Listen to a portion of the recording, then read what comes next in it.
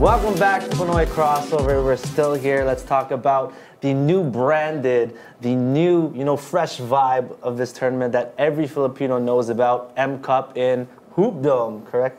Right. So let's talk about that. Clyde, tell us, walk us through um, your vision of M Cup, this new branded. Or how did vision. it come together first? Yeah. Well, first and foremost, thank you for uh, for hyping it up. Mm. Like, yeah. man, uh, I'll just give you an experience. I'm a, a product of M Cup, or what we call Mabuhay Cup. For mm. years, I've been playing in Mabuhay Cup, and you know the level of competitiveness had never uh, slowed down. Like it's innovating per mm. year-to-year basis.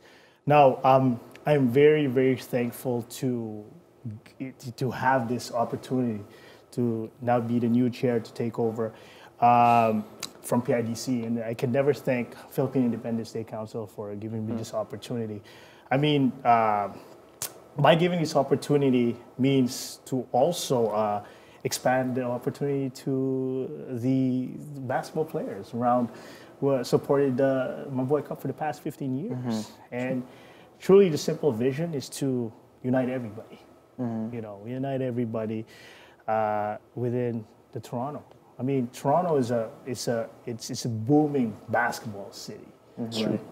For like the past two years, we've got women's basketball that just came out of nowhere. Canada yeah. basketball has been crazy. Mm-hmm. Our juniors ba- junior basketball level has been up there. Our, our FIBA basketball is crazy. And then last year, uh, with and I got to special especially mention these guys because mm-hmm. they're very, you know, near to my heart.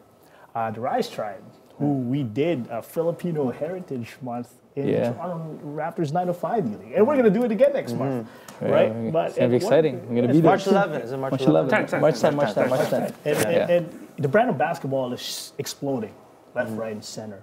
So for Mabuhay Cup, we are paving the way, right? Mm-hmm. We're paving the way for upcomers, for, mm-hmm. for the youth, for, mm-hmm. for, uh, for, for women's basketball. Uh, and whether if it's you're just a newcomer from the Philippines or you've been here for a long time or you have hoop dreams going back to the Philippines, uh, I think the vision of our brand, mm-hmm. of our new brand, has resonated to something of a newer approach, mm-hmm. or something that a tournament that uh, is not just a tournament, but is the event that you want to see on a mm-hmm. yearly basis. Mm-hmm. And an event that something that you look forward to. You know, one of the things that uh, the wow factor that we want to present, and we're going to surprise you because mm. I know it's a couple of months from now. But my team and I have been working hand in hand every single day. And then from even today, like even tonight, like we discussed every enormous things about basketball mm. and how we can enhance basketball and, and give it to the newcomers, right? Mm-hmm. Where the upcomers, and a sense where uh, going back to an event, you know, when you look at a, a basketball event, what do you really entail? Mm. It's the experience, correct? Yeah. It's the overall factor yeah. of that. So if we provide an experience that are, are, is always unique to people, and it's definitely something that we can provide a, a, a way for, for diversity, mm-hmm. right? Because if you see right now, you, if you go at a lot of organizations, everywhere in Toronto, you'll see a Filipino guy that yeah. plays on every organization. Yeah. Point guard. Yeah. always getting recruited. Always getting recruited. Always point guard. Always getting recruited. Yeah. Right, yeah. right. So, you know, and just uh, again, I've, I've, I've, met a lot of good guys uh, um, from, from MCUP, and we participate on a yearly basis. And all these guys that have, have, have already uh, risen to their careers, such as James Forrester, mm-hmm. such as AJ Sergio, Norman Pinola, Norbert Torres, mm-hmm. Matthew Wright, all these guys that uh, had paved the way for Toronto. Are, and if you look at their careers, mm-hmm. uh, they've, they've given you know, Filipino Canadian hoop dreams, giving him a reality yeah. mm-hmm. to say, hey, you know what? Not just because I'm six foot 3 mm-hmm. I'll be dominant. Man, you could be five foot ten, but you're shooting everywhere in the court. Mm-hmm. And you know, you cannot be recognized. But there's just really aspects of that, right? Mm-hmm. There's just aspects of how you brand yourself and how you brand basketball as a whole. Mm-hmm. So here we are. Uh, we we want to enhance a lot of things from Mabuhay Cup, and we are very very excited. We're very uh, we're very static on how we can uh, develop newer programs, uh, especially for the kids and for the women's basketball, for for for everybody. Because it starts young. Like if you start them young and they get into basketball early, that's when you can build all the skill sets, really the fundamentals. Of course, of course, and and going back to being young, and I'm, I'm- I'm pretty sure as I'm also a father, right? Uh, for us dads who sees our kids holding a basketball, it's all about hey, if these guys start shooting, what development program are we going to bring them? Right? Which organization do we they need to? Which which paveway? So you got to have that trust. You got to have that that uh, uh, uh, that it, that wow factor where hey, you know what? If I'm going to bring him to this type of organization because we trust them, we make sure that that uh, they're in the right place and in the right uh, mentorship, and the right community, right? And community is the way to discuss, and community is is is how we brand ourselves. We pride ourselves from a boy cup. Now there, there's a lot of different tournaments out there. Mm-hmm. So you said unique and you say wow factor. I just want a little tease. Like what's Something, something. Yeah, you give What's me a gonna little- make this? No surprise. Give me a make little- this all right. Give me a little tournament Give me a season? step. like- Give me a little jab. I want to know. Okay, one jab, only one jab. Okay, not two way jabs. What's gonna make Oh, travel? You jab. can't travel. We just want to know what's gonna make this Yeah. the tournament of the summer. That one, one of the. The premier. Because what I've noticed too is that hey, M Cup is always trending on Twitter, even though they didn't have course. a social media page, or because a lot of people use M Cup to, to exactly. come together. So with that So- being said, uh, we now have a website. So www.cupbasketball.com. We also have our newly re- renewed so uh, Instagram. Right. So all of our updates, all of our our our our, our, our um, our updates, our our um, our trends, our our factors, our wow factors are there. And you know what? I'll, you know, moving forward with jabs, if, if you take a look at this right now, we're also going to sell our own merchandising, mm. right, for M Cup. So Oh yeah.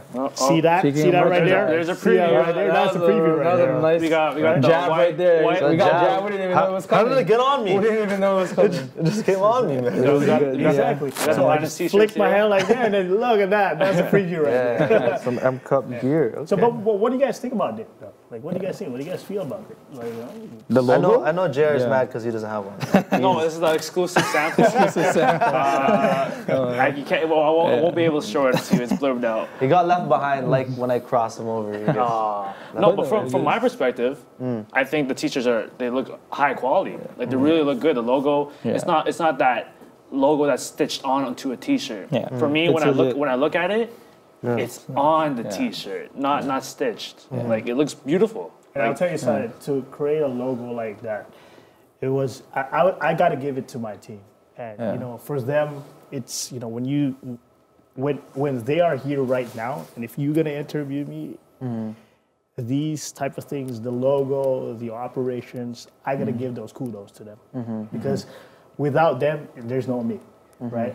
Without me and them, there's no Mabuhay Cup. So, uh, you know, just to conclude, having uh, a team like that with, uh, you know, would voluntarily work, you know, with hours of putting in some inputs, some uh, uh, um, um, projects, some content, even in the website. If you check out our website right now, you know it doesn't it doesn't take a day to make to make a website. You know, if you look at our partnerships there, right, you see how solid it was because there was work that was put on into it, and it was hours, and there was dedication, there was time, right? And for us, guess what? Our motive, our mission, our goal is to ensure that our kids, we do this for the kids. we do this for them. They mm-hmm. make us because of who they are. And what we wanted to do is to resonate that. We wanted to, you know, to show that community what Filipino basketball is all about, mm-hmm. like who we are. The good thing is actually like what you mentioned is add on to that is that that was the goal of our show. We wanted to create exposure and to actually have as much exposure for kids that are playing here locally in in, in, in Toronto in the GTA area and, and expose them to you know to US to Philippines. So then you know a lot of the scouts or people that are looking to play overseas or looking to play you know b- college basketball in the US can see you know these kids that we're interviewing or these kids that we're profiling. And then it's great that you know the same vision that you have for M Cup is the same thing why we're doing this at So if you look at my generation comparing to everybody's generation from the past, like let's uh, take, take a step back and look- talk about Gilas a little bit. Yeah. Right? Our Gilas team has been solid, consistent for the past three, four years.